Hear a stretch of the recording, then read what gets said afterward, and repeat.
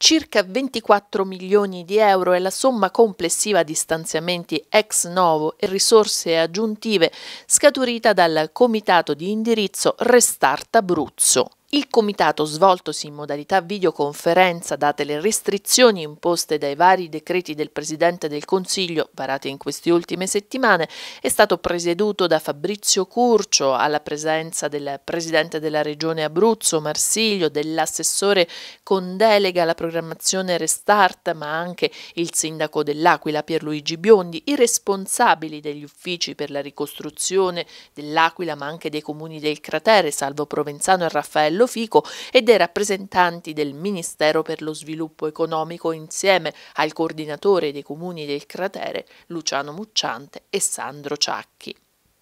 Si tratta di un nuovo forte impulso alla realizzazione degli interventi pensati e approvati dal 2016 ad oggi, con importanti novità che interessano diversi territori. Tra queste il rilancio e il potenziamento del polo di attrazione turistica del Gran Sasso con l'obiettivo di incrementare i flussi turistici sia invernali sia estivi, finanziato proprio su richiesta del Comune dell'Aquila. Risorse aggiuntive sono state approvate anche dal Comitato per la realizzazione dell'intervento di mobilità elettrica per la rete viaria di prossimità dei centri storici dell'Aquila che mira a sperimentare l'uso dei veicoli elettrici nella città attraverso una serie di interventi che prevedono l'acquisto di autobus elettrici, incentivi per la conversione dei veicoli privati in auto elettriche. Andando poi nella terra della baronia, si propone di rilanciare il sistema turistico, sono coinvolti nel progetto